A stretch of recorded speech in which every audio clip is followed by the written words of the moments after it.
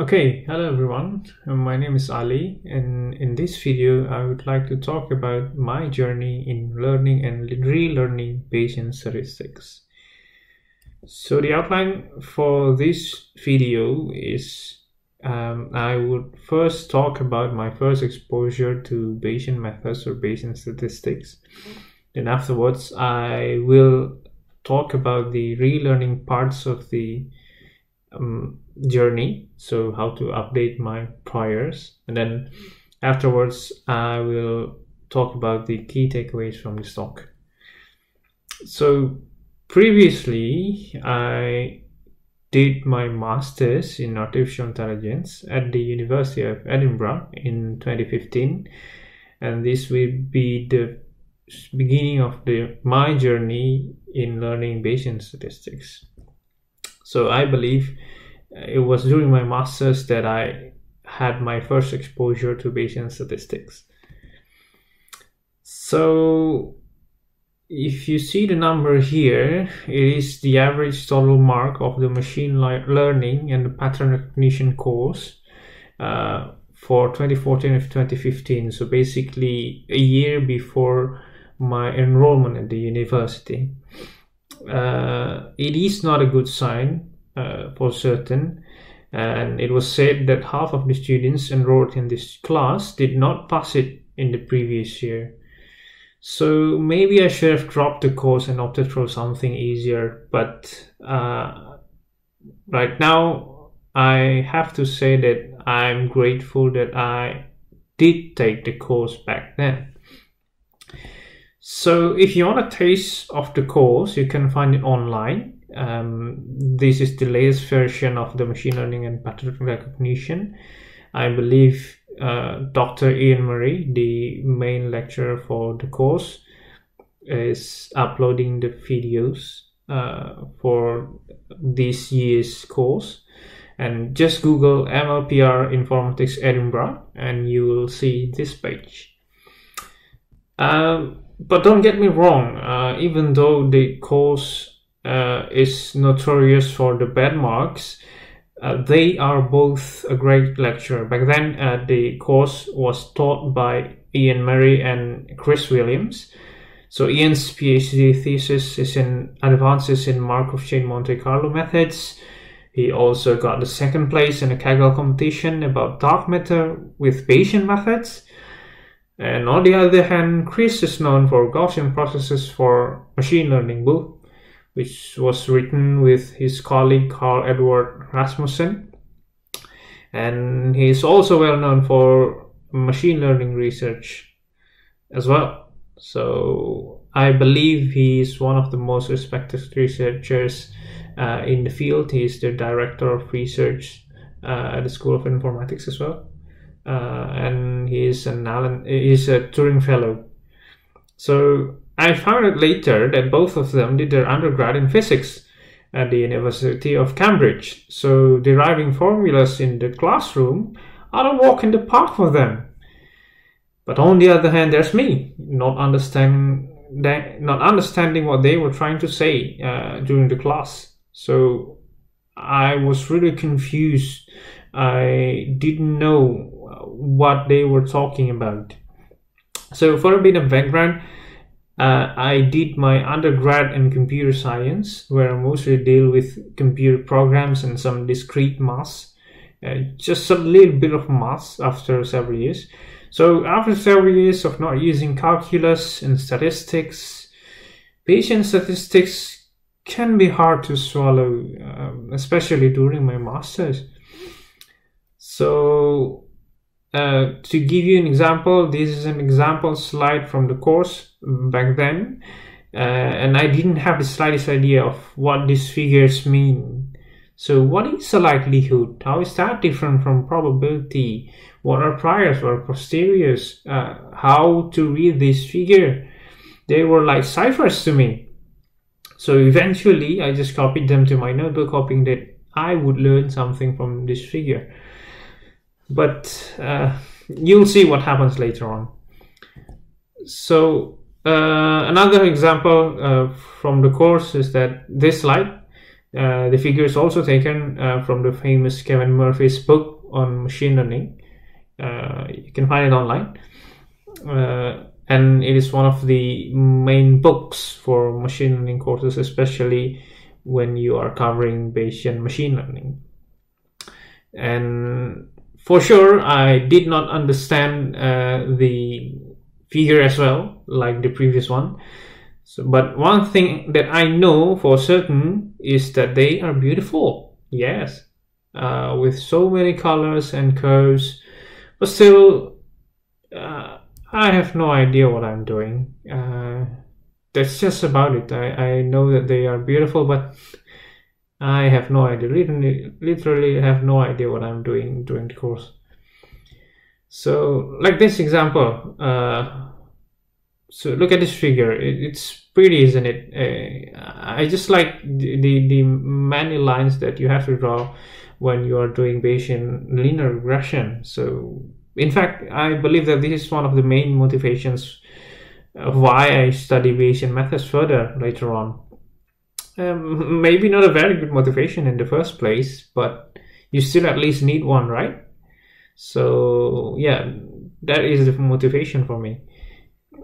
Um, and afterwards, the, the course continued uh, with explanations of sampling methods, the Monte Carlo methods, the rejection sampling, importance sampling, and the MCMC, Markov chain Monte Carlo. Um, and yeah, this part still confuses me uh, back then. So, uh, well, I know this averaging over samples for sure, the, the expected value uh, over samples, but that's just about it the ergodicity, Markov chains, Hamiltonian, Monte Carlo, and all other technical terms seem alien to me back then. Uh, then things get even more obscure for me as we dive into variational inference.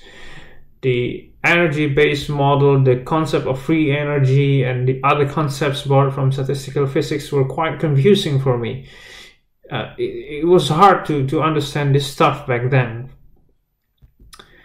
And also this thing, the introduction to Gaussian processes. Uh, to this day, I don't think I fully understand uh, Gaussian processes even now.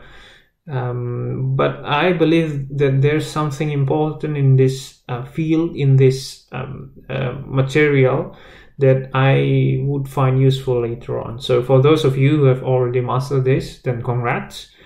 Uh, hopefully I'll be there someday.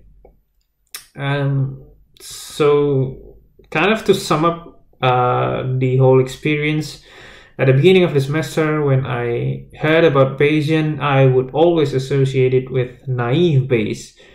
But as you may know, this is not the case at all. So for those of you who don't know it yet, there's even a model called Bayesian naive Bayes. So naive Bayes in this case is not uh, the Bayesian framework we usually talk about when we are talking about Bayesian statistics. So um, after countless hours of studying and isolating myself in my flat and learning from these books and like trying to derive equations Finally, the exam week came, and I was really hoping that I have prepared myself well for the exam for sure. But I still did not do well in MLPR.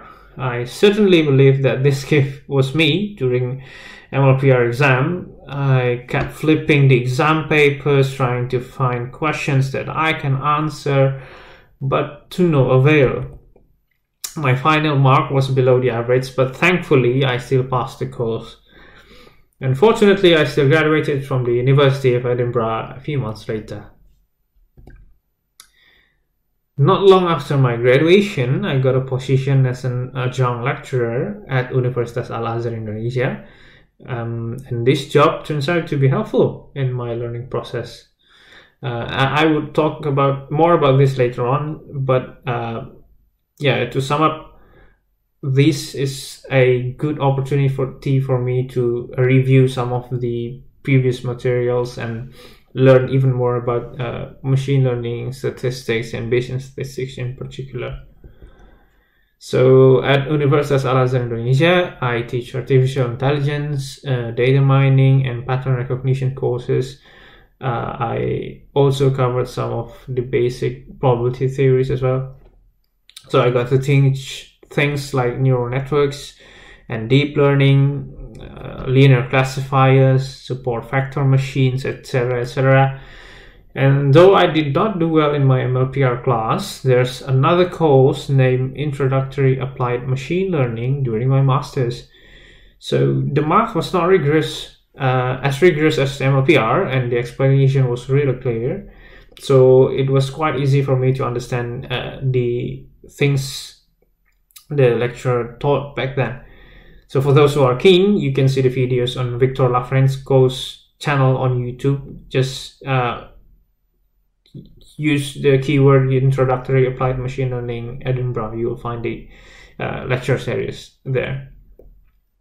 But still, uh, having the understanding of machine learning without uh, properly knowing the underlying principles of probability and statistics, I and and how to move further to Bayesian machine learning, I, I feel that something is missing I I, I don't really feel satisfied myself.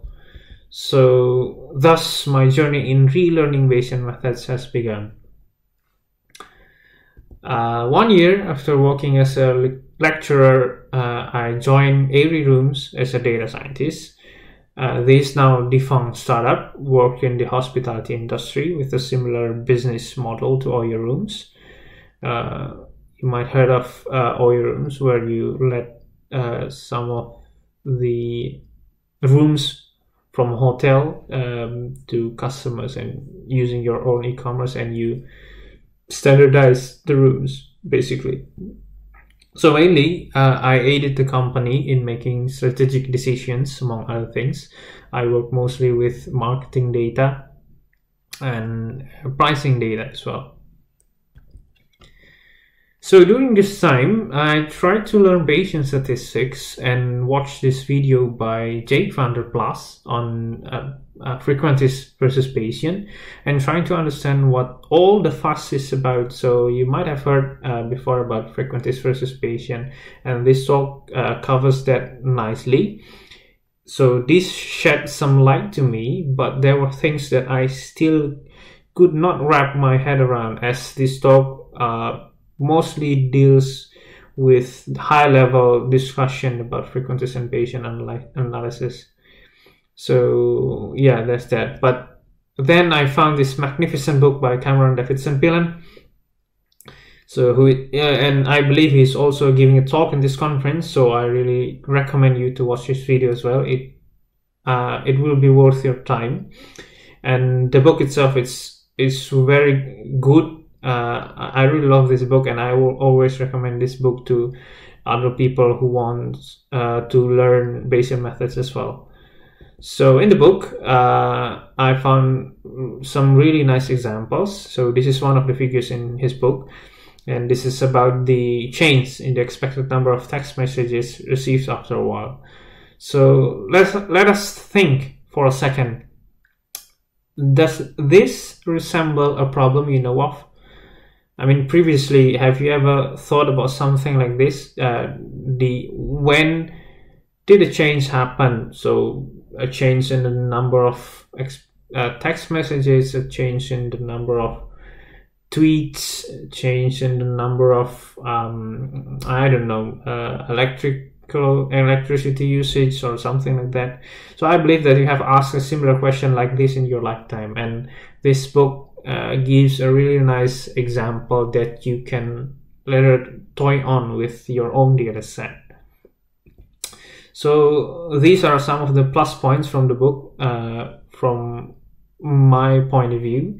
The first one, the book gives simple and relatable examples and it is written in a hacker first mindset so you can see snippets of code that you can play around with and also, this book is written with a top down approach, as it avoids giving too much details about the sampling methods in the first couple of chapters. So, you could understand the basic idea of Bayesian methods without really uh, talking about the Markov chain Monte Carlo uh, at first. So, and uh, the biggest plus point for me for sure is the use of PyMC3 as the main framework.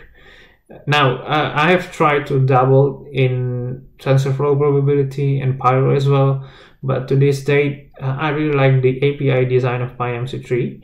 Uh, but I might be biased though, since this is also the first probabilistic programming library that I use. So now I have finally found my motivation. So the, the, the book, the, the Bayesian Methods for Hackers book, is really good that I can see things around me through different pair of glasses. I can see uh, Bayesian uh, cases around me yeah or, or uh, cases or problems that i can see with the bayesian perspective uh, from now on so for for example this uh, example from the book about how to order and submissions um, where you update your prior uh, based on the upvote ratios on different submissions i also saw a similar problem at Airy Rooms in the form of search ranking so how to rank properties from review scores uh, with Bayesian statistics. Uh, basically, uh, every property will have their own number of reviews with different review scores, and you want to uh, rank them all uh, within a city or within a um, province. So, how would you uh, rank them the best? And that example of ordering the reddit submission certainly helped me to uh, work on this as well. Uh, and i also wrote an article uh, later on on the company's technical blog about bayesian inference using pymc3 you can still find it now on medium so go to medium.com slash science uh, but as I've mentioned before, the company has now shut down due to COVID 19, so there will be no more posts there. So, anyway, uh, I also learned uh, something about Bayesian optimal pricing during my tenure at the company. Uh, and this blog post by Chad Scherrer uh, introduced me to model fitting and diagnostics. Um, you should really check it out. And also, finally I got the chance to draw something beautiful like this as well.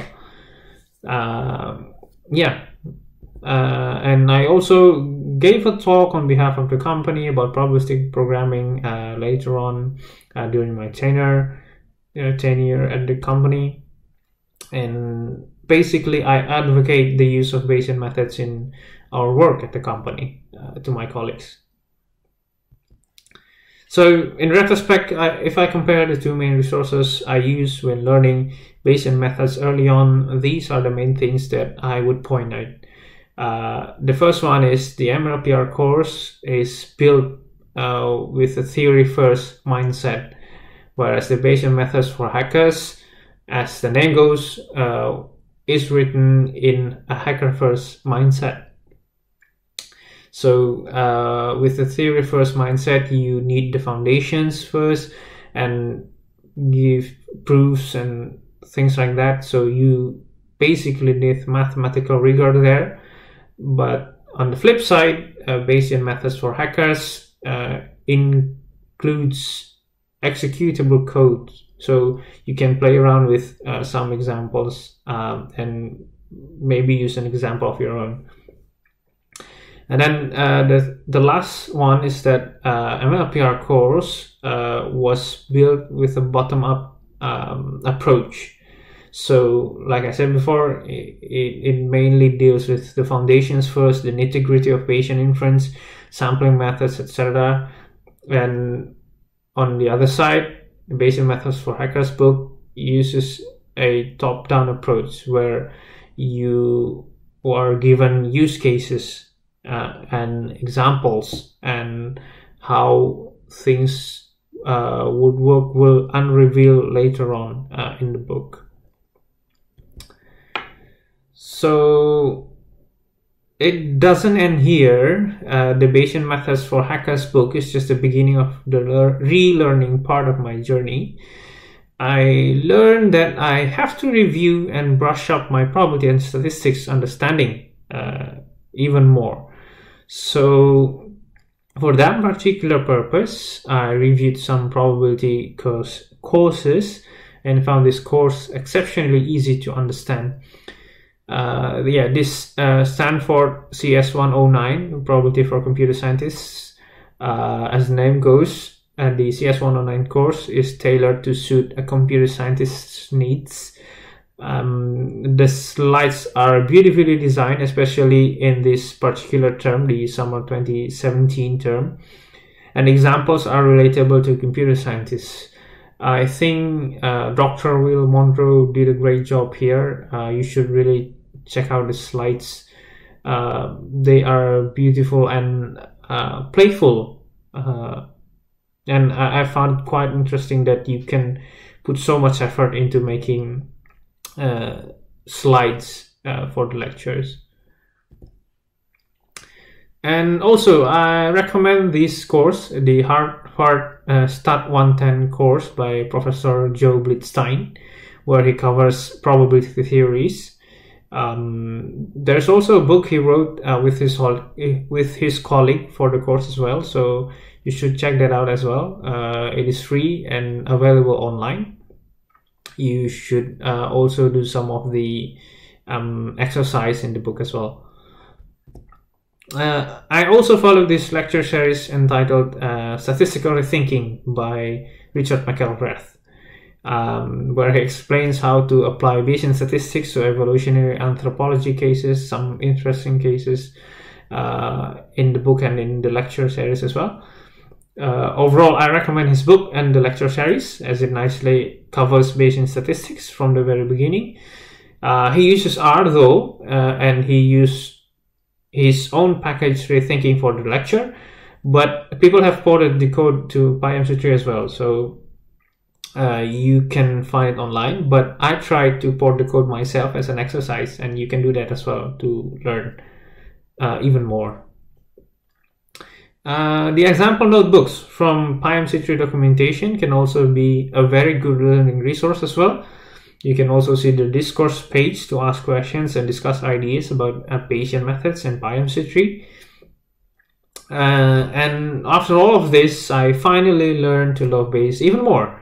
As an alumni of the same university as Reverend Thomas Bayes, I hopefully I did not let him down. Uh, and I can happily say that I can understand this slide now. So, yes, there's a success uh, for me. So uh, we finally came to the final part of this talk. Um, the key takeaways from this talk uh, are find your motivation, uh, and there are two main paths: program, first or program first, and try it out. So in the find your motivation, I would say that you might need a different one from mine. It is subject to your experience so far, after all. So I must say, um, you have to find it uh, yourself. But some exposure to real cases first before deep dive into the theory would be beneficial uh, from my point of view. And if you don't have any problems with understanding formulas or deriving equations, you should benefit more from reading books like Kevin Murphy's Machine Learning or David MacKay's Information Theory. Otherwise, you should really consider reading Bayesian Methods for Hackers or Statistical Rethinking as uh, I believe it is easier uh, with some example codes in, in the books. And finally, try it out. As they say, experience is the best teacher. So hopefully you'll gra- fully grasp the idea after toying around with some examples. And particularly for my case, uh, learning by teaching is extremely effective. Uh, during my tenure as a an adjunct lecturer at Universitas Al Azhar Indonesia. I learned some of the basic stuff as well. So the probability theories and the machine learning stuffs and how to combine them and how to present them clearly to my students actually helped me to understand them even better. So you should try it out as well. Give talks like this or uh, just um, discuss with your friends and advocate the use of Bayesian statistics. Then you might learn something uh, from that. So to conclude, if things are hard for you right now, please remember that this too shall pass. Probably. So uh, thank you very much for listening to my story, uh, for listening to my journey so far. Hope you enjoyed this talk, and I'm looking forward to the Q and A session. Thank you. Bye bye.